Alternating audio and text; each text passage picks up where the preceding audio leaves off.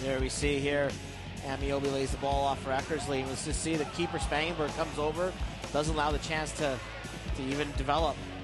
As Eckersley said, they tried some low low crosses, some high crosses, and they pretty well dealt with everything. Good game by Spangenberg as well, the uh, goalkeeper who had not played a minute until today. That was maybe one of the best chances of the match, Niasse. But just after he'd come on as a substitute, maybe not quite into the flow of the game and just snatched at it a bit. Yeah, there's a couple of chances the Eddies had. I, I guess I call them half chances. They flashed just wide. You see Ledgerwood here putting one over the bar. I think we saw Ben Fisk had a chance later in the game off a giveaway where he fired away.